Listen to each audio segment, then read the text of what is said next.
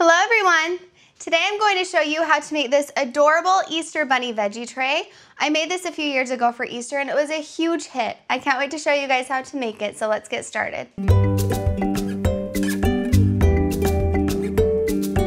So what we're going to need to make our cute little bunny are two loaves of bread dough, and you want those to be thawed but still cold, slivered almonds for his cute little teeth, raisins for his little eyes, scissors to cut our dough, cooking spray, and a baking sheet.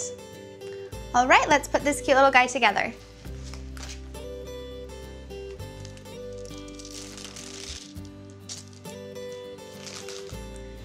Okay, and the first thing we're going to do is spray our baking sheet.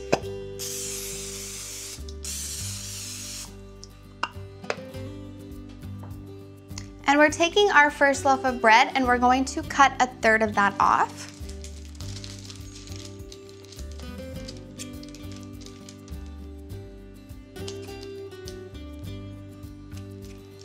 And set that third aside for just a second. We're going to take our piece that is two thirds and we're going to create the body. And this will be an egg shape.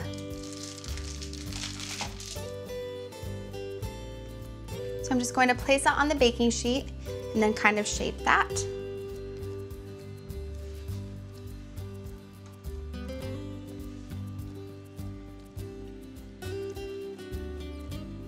And then we're gonna take the third of our loaf and we're going to shape the head, which is going to be in more of a pear shape.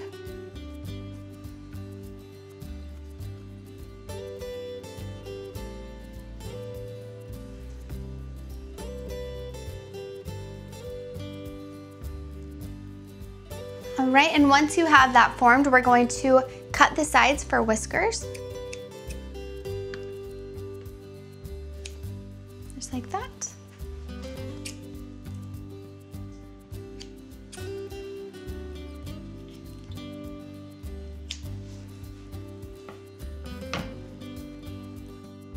Okay, and with our second loaf of dough, we're going to cut it in half.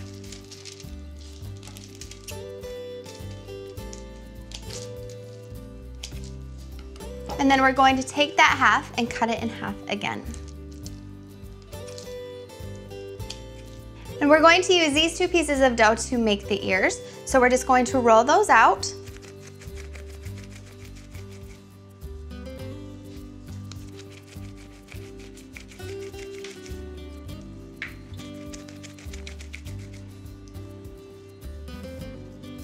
All right, and then we're just going to take those two ends and put them together and put them at the top of our bunny's head.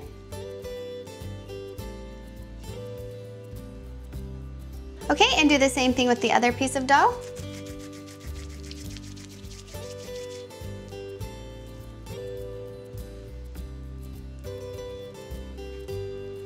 I kind of like to shape the bunny ears different, so I'm going to have this one going down. Okay, and then we're going to take our other half of dough and we're going to cut it in half again.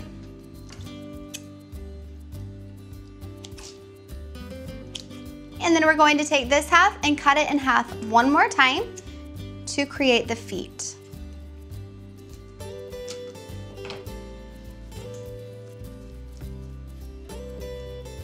I'm just making that a little bit pointy at the end so that he has big thumper feet. And then using our scissors, we're going to cut out little toes just two little slits right there, like that. And that is one foot. Place it down here at the bottom. Do the same thing with the other piece.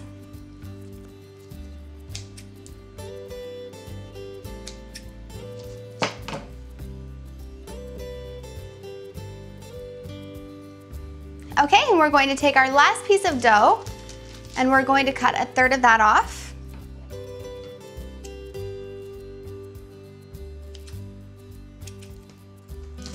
And cut the remaining two thirds in half to create the hands. And I'm just kind of making that into a circle shape. Then we're going to cut little fingers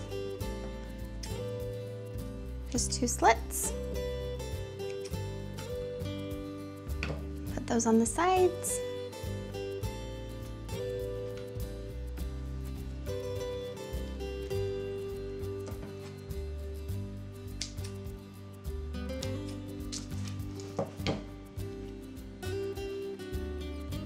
Okay, we're going to take our last little bit of dough and we're going to create the cheeks and the nose. So we're going to need two large balls and one small ball.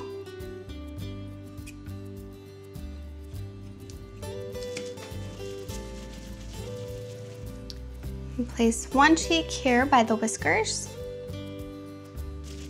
And the other one right next to it. And lastly, the nose. All right, and then we're going to grab our almonds and our raisins.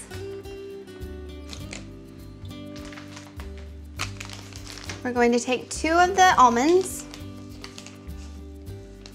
and place them right under his cheeks for little teeth. So just slide those right in there.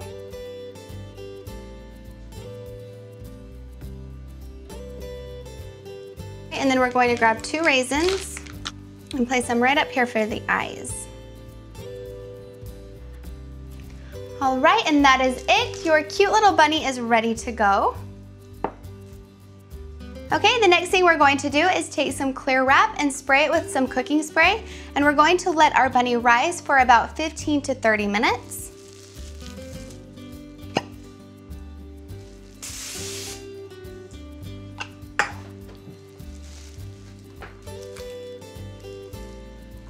Once you've let your bunny rise for 15 to 30 minutes, you're going to put him in the oven at 350 for 30 minutes or until he is a nice golden brown. When your bunny is done cooking, pull him out of the oven and set him aside and let him cool. And while he's cooling, I just added some lettuce to place him on. And now we're going to cut out a hole in his belly to put the dip in.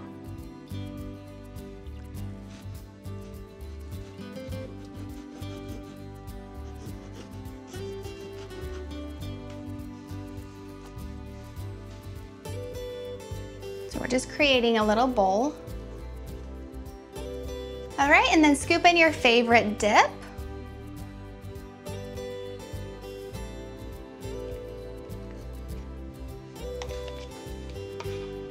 All right, and then I'm just going to place vegetables around him.